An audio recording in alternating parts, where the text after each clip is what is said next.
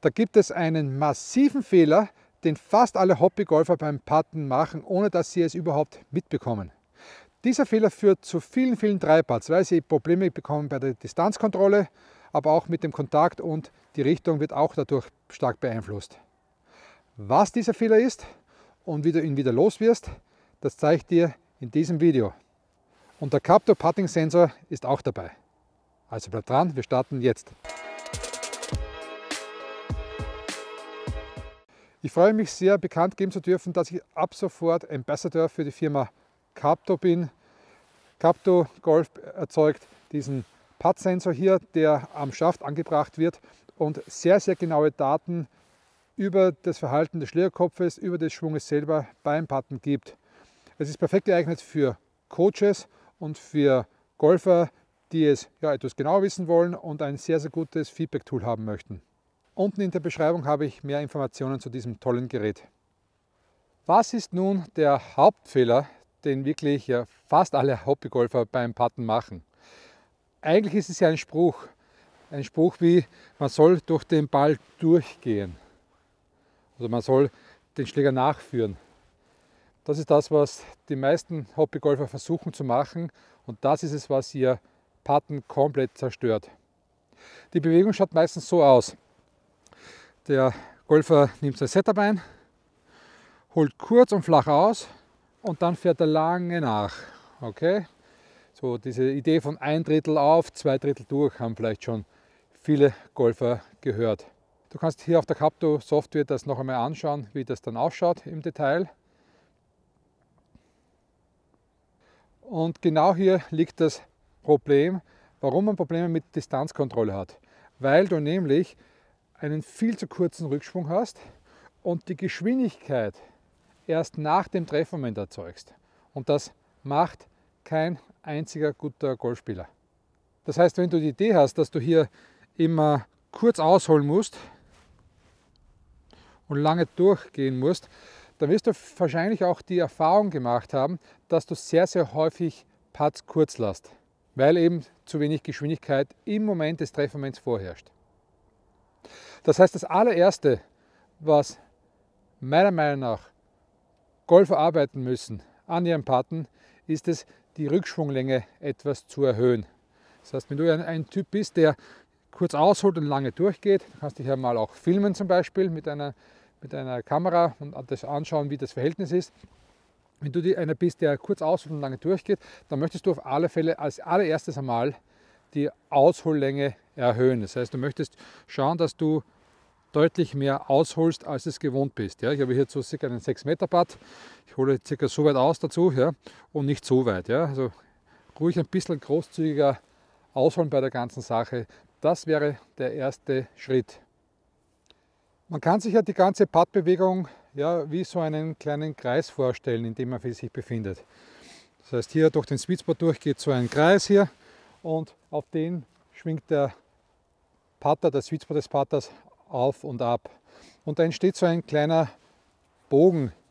Und bei dem Bogen ist es so, dass du möchtest, dass der Ball in der exakten Mitte des Bogens getroffen wird. Das heißt, wenn du jetzt hier bist und ausholst und du hast jetzt hier diesen Bogen hier, möchtest du, dass der Ball ja, genau in der Mitte getroffen wird, also nicht kurz und lang durch, weil dann wird der, die Mitte des Bogens hier nach dem Ball. Die Mitte des Bogens ist auch sozusagen die höchste Geschwindigkeit des Schlägerkopfes. Also es macht keinen Sinn, wenn der Schlägerkopf hier schnell ist, wenn der Ball schon weg ist. Und du willst auch nicht zu weit ausholen und zu kurz durch, äh, durchschwingen, dass du die höchste Geschwindigkeit zu weit vor dem Ball hast. Also es ist schon sehr, sehr gut, wenn man das hat. Und ich habe jetzt hier äh, meinen Kaptor hier am Boden hier und mache mal so eine Bewegung hier, wo man dann das eben auch messen kann. Ja, und da sieht man jetzt sehr schön, dass ich die höchste Geschwindigkeit genau im Treffmoment gehabt habe und dann geht es runter mit der Geschwindigkeit und ich werde nicht noch einmal schneller. Wenn ich jetzt zum Beispiel jetzt noch mal kurz vorzeige, was die meisten Hobbygolfer gerne machen, ja, das schaut es dann eben so aus. Ja, dann sieht man dann, nach dem Treffmoment geht der Graph noch einmal hinauf, das heißt die Geschwindigkeit wird schneller und das ist das, was die ganze Sache unkontrollierbar macht. Das heißt, man möchte unbedingt den Ball treffen und dann wird der Putterkopf langsam. Und in diesem Bogen, von dem ich gesprochen habe, ist eben die exakte Mitte meistens die höchste Geschwindigkeit auch und so kann man sich das auch dann gut vorstellen. Daher ist es jetzt wichtig, erstens mal mehr Aushollänge zu haben und auch, dass wir eine Symmetrie haben, sprich gleich weit ausholen wie durchgehen durch den Ball. Wichtig dabei ist es, dass die Geschwindigkeit des Schlägerkopfes nach dem Kontakt mit dem Ball nicht noch einmal höher wird. Übrigens möchte ich dich noch auf etwas aufmerksam machen, was man sehr, sehr häufig bei Hobbygolfern sieht, bei den kurzen Putts. Und zwar ist es nämlich dort genau umgekehrt, dass die meisten Hobbygolfer holen bei kurzen Putts zu weit aus und bremsen dann zum Ball hinunter. Ja, ich versuche das mal ganz kurz zu demonstrieren hier. Ja, also da sieht man schon, dass quasi der, der, die höchste Geschwindigkeit deutlich vor dem Impact war und dann ging der Speed schon hinunter. Und das ist etwas, was du auch nicht willst. Und das ist eben das Lustige und das Paradoxon, was ich sehr häufig sehe bei Hobbygolfern, dass sie eben bei den längeren Parts zu kurz zu flach ausholen und dann lange durchschieben. Und bei den kurzen Parts, die man ruhig ein bisschen knackiger spielen kann, da wird dann viel zu weit ausgeholt und abgebremst. Und es sollte ja, quasi gefühlt genau umgekehrt sein. Und auch hier sollte es so sein, dass die Symmetrie vorhanden ist, dass die höchste Geschwindigkeit beim Treffmoment mit dem Ball passiert.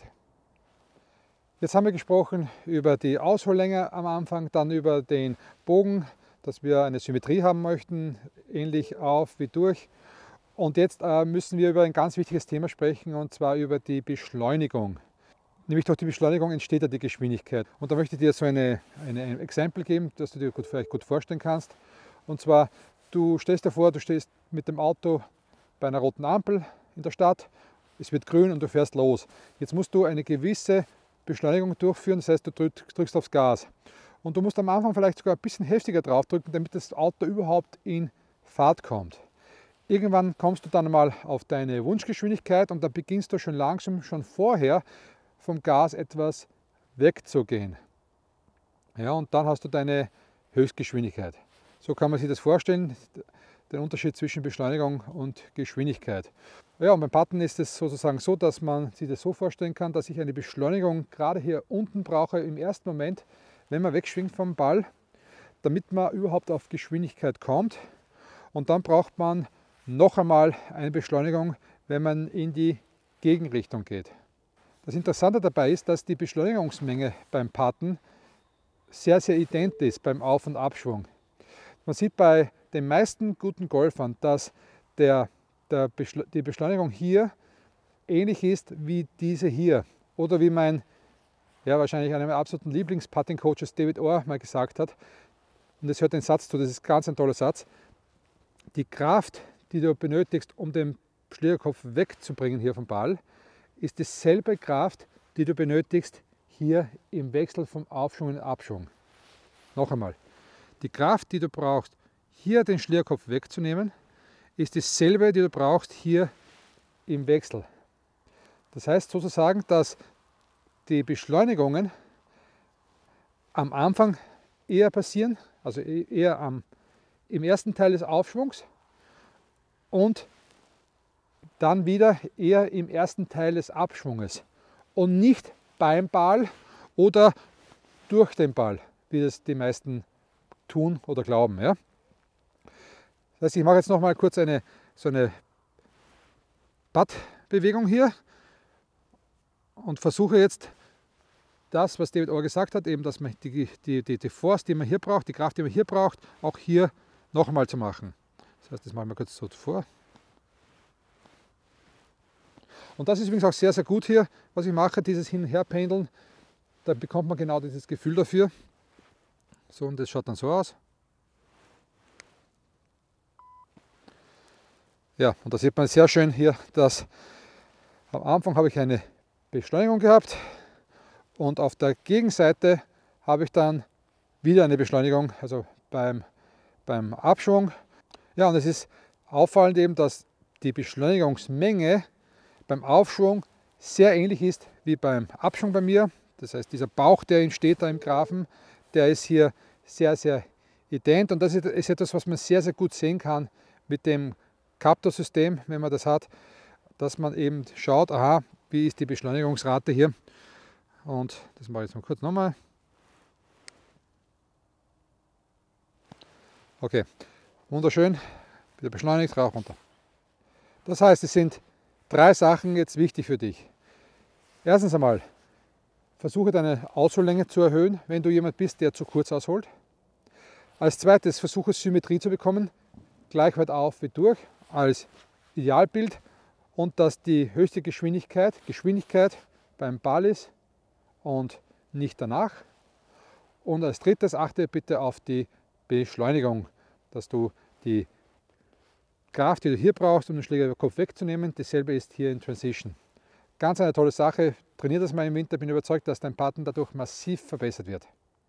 Wie gesagt, wenn du dich für das Captor-System interessierst, dann findest du unten in der Beschreibung mehr Informationen dazu. Und jetzt bitte ich dich, dieses interessante Video als nächstes anzusehen. Wir sehen uns gleich auf der anderen Seite hoffentlich. Tschüss.